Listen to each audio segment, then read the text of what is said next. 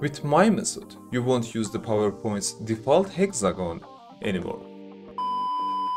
Hi everyone, Saeed here. Today I have a PowerPoint challenge for you. You know, in this semester I'm teaching technical drawing and I asked a simple question from my students and none of them could solve the problem. So I decided to ask it from you. The question is this, how can you draw a hexagon with rounded corners in PowerPoint? You know, when you draw a hexagon, its corners are so sharp. I want you to find a solution for this problem and design it with round edges. So pause the video and think about it. And if you couldn't solve it, don't worry. I will explain the solution in a minute. And of course I'm going to use this feature and I will show you how to design this infographic slide in PowerPoint. In the template file, I have prepared dark and light theme for different steps and all of them are fully animated. I will put the download link in the description. Okay, let's see the solution. When you look at this shape, what do you see inside the shape? Three rounded rectangles. What? Bro, what are you talking about, man? The problem is solved. Draw a rounded rectangle and change its height to 1.5 and width to 2.26. Hold the control key down and make two copies of it. Right click on this shape and select format shape. Now we have to rotate this shape 60 degrees and this one minus 60 degrees. Why we are rotating them 60 degrees? Because in hexagon, the angle of each corner is 60 degrees. Anyway, hold the control key down and first select this one, then these two. Align them to the middle and center. Now in the merge shapes section, make them union. It was so easy, wasn't it? Sometimes questions look so hard, but they have easy answers. Who knows, maybe one day you will find an easier solution than mine. Anyway, let's design this infographic slide together. Alright, let's make three copies of it and adjust them like this. First, change each shape's color. These are the color codes that I'm using.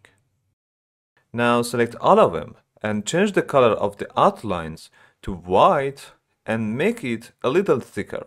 I think 2.5 is good. Also, add a drop shadow in this direction. Set the blur amount to 25 and distance to 10. Let's decrease the transparency to 50. Now you can type your letters or numbers inside the shapes. Press Ctrl A to select all the shapes, then if you like, change the font style. In this case, I'm using the Rusu one style. Let's add a drop shadow to the letters as well. Set the blur amount to 10 and distance to 8. Now draw a line. Since we want a straight line, hold the shift key down when you are drawing. Set its width to 1.7 inches. Draw a circle and set its diameter to 0.2.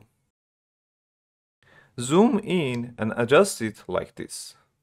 Select both of them and remove the circle's fill color, then change their outline color. Now by pressing Ctrl G, group them and drag them to this position.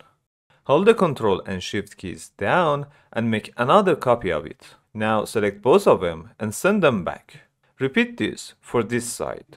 Now click on this little icon to add your titles. Let's draw a rectangle with this size. Change its color and remove its outline. Also add a drop shadow to the center and send it back. Okay, so far so good. Now I want to animate them. Hold the control key down and select all the shapes and text boxes. Go to the animation tab and add fly in animation. Okay, let's modify the direction of each animation. I want this one to enter from this side, or this one from this side. These are the directions that I have chosen for each shape. Now click on the animation pane and select all the animations.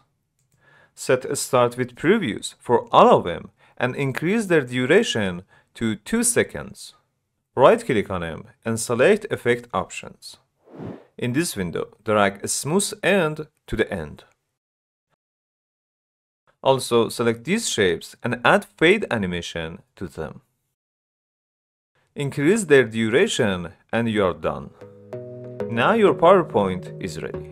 You can download all the templates in the description. And if you haven't subscribed to the channel, please consider subscribing.